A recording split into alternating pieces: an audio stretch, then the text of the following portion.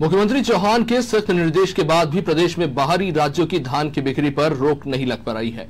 इसका एक नमूना पन्ना के अजयगढ़ में सामने आया है।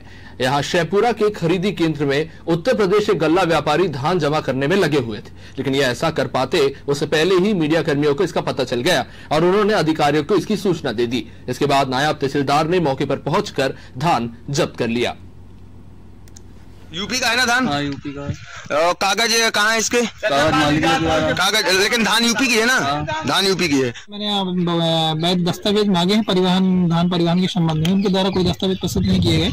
जिसको मौके पे जब्त कर और पंचनामा तैयार कर और खरीदी केंद्र नजदीकी खरीदी केंद्र सहपुरा स्कूल में जो चल रहा है खरीदी उसमें वहाँ के प्रभारी को सपोर्ट में दिया गया है।